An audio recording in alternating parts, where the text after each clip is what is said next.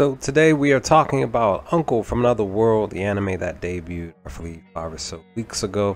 Finally getting around to watching episode one. This is my review of this episode. Title episode is called "I'm Finally Back from the Fantasy World of Ron Bahala After 17 Years." I really enjoyed this opening of the episode of, of the anime here for episode one, guys.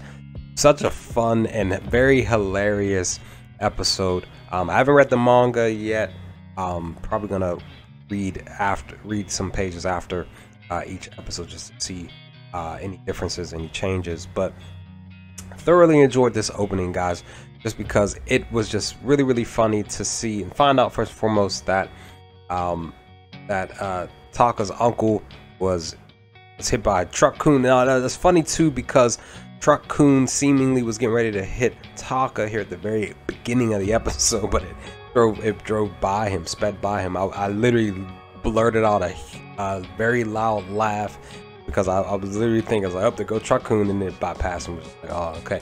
But 30 seconds later, he's like, yeah, this is what this happened 17 years ago. My uncle got hit by a truck, coma, blah blah blah. But we, but his uncle oh, has awoken in the hospital, and um, then we dive into you know his nephew, you know Taka trying of speed him up a little bit into what you know the family had been doing or going through, including himself, since his uncle was uh, in this coma. But his uncle was, was talking specific uh, verbiage that, of course, the language that he was using wasn't from you know from Japan. He was speaking uh, the basically the language from uh, Ranbahala, and uh, you know, he was just like, oh, you, you speak Japanese and this, that, and the third. But we find out here, he's like saying, like telling him, like, yeah, because because Taka was trying to tell him, like, yo, like, you know, me and the family, this, that, third, we hard times. And, you know, I I think, I, I want to say he was probably asking him on the lines of what to do next with with his uncle or anything like, like he was just trying to just go get right to the to the uh, the meat of the conversation you know but his uncle was trying to use uh, magic in the room, but he was he was trying to do the spell in the the Ranbahala uh, uh, language, like like casting it. But then he just decided to actually he he, he decided to say it in J- Japanese, and it worked. And just like it was just hilarious. Like it was just just that whole that first like what five or so minutes in this anime in this first episode was just really really just fun. It was hilarious. But also too, I really love that he brought up Sega because Sega is one of my favorite childhood uh, video games consoles from back way back when, right?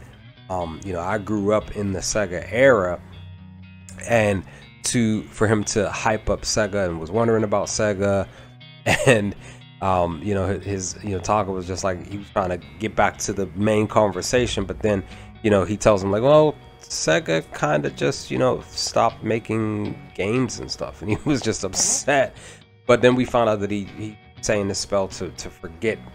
But it's weird, like he was saying, like he was he was saying the spell that erases specific memories that are hurtful, I guess. But he wrote them down though. It's like he said the spell and then he wrote it down. It was like, well, I thought you said that you would forget stuff, you know, after you, you know. That, that, that was just what I'm thinking. Like I thought you were supposed to write it down first and then say the spell so that you forget. But uh, you know, with that, he get he gave Taka the notebook to say, you know, well his his uh, yeah his, his notebook to say like this is what something crucial happened. And he he read Taka read it. He was like, oh my goodness, and he was just really just like it was just hilarious. told him to spell on him and did. Uh, but it was just really really fun just to see that you know Taka was getting up to speed with you know how Japan is working technology phones, you know, all of this. But with that, Taka said that he used his uncle to use his magic powers to create a YouTube channel and gain some money that way. I think he, I think he gained like 60,000 60,000 yen in total. But then we see that his uncle was actually able to, uh, that he, he went online to get a phone and he wanted a flip phone basically. That's what he wanted and he's like, "Well, you can get this phone over here because it's touchscreen." And he's, "No, I want this phone. It's old school." Again, reminding me of Sega and stuff. Like he, he just wants to stick with stuff that he's used to using because this is the world that he came from. You know, 17 years prior, right? Uh, but with that, then you know we find out that his uncle can fly so he flew to where the, the cell phone was instead of him paying i think it was like 2000 yen to for shipping uh, he goes and flies and gets it then he gets back he was like well hold on uncle. You know what uh, what about these headphones? You know do he was like i could go get these in a flash in about five minutes. Does that but then he's like well wait you know shipping and handling we can get it for free. And then that's when we went on amazon and ordered some other stuff. And then we found out that his uncle has this like pocket storage dimension that he gets from uh, whichever i guess his hand or his chest. He pulled out this knife. He pulled out this sword. You know, it was really cool for him to see him do that uh, but but then we get to some interesting stuff in the episode when it's pertaining to his uncle and the the you know the Granbahala world itself found out that the place that he came from didn't like him so much. Found out the place that he came from was trying to take him out, hang him, and all of that stuff. A specific woman that he met, she didn't really necessarily like him. Uh, they they they called him like a like a orc or something like that uh, because he was because he was from a different dimension. He dressed differently than them, so they they automatically uh, was basically like chastising him and wanting wanted to get rid of him. But the girl, specific girl, she saves his life, but he, he runs away and she calls him a coward. But they eventually meet up again. Uh, that that whole situation is just hilarious in this thing. Then they use the the touchscreen to be able to show how everything was going on. He was running away, and he spins the camera around and, and uh, expands the image to be able to get back to where the girl was with the with the village people trying to hang him. So it was just really really funny, and I really really just enjoyed that about this episode. But then we see that he tried to sell he tried to sell some of the some of the specific antique items that he had in his possession that he would only get for, for like 50 yen at a pawn shop.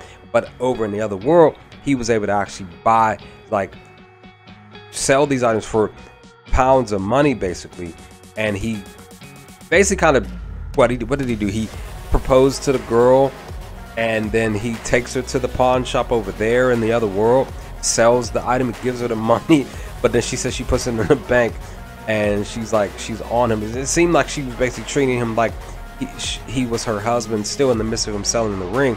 Just really, guys, just really, really such a fun and hilarious first episode of this anime. I really enjoyed this one.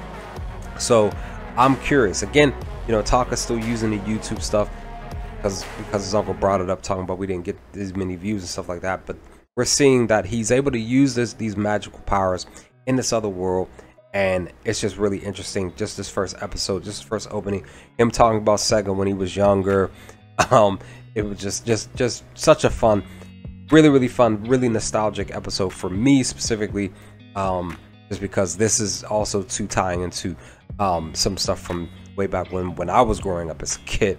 Um, so I really enjoyed episode one for today, guys. I'm getting ready to go watch episode two to see what happens next. Leave some comments, comment section below. What did y'all think episode one for today? Let's talk about some things, guys. What were your initial reaction responses? Let me know your thoughts. But as always, with that, I will hopefully talk to you on next time with more Uncle from Another World anime re review videos to come soon. Peace, guys.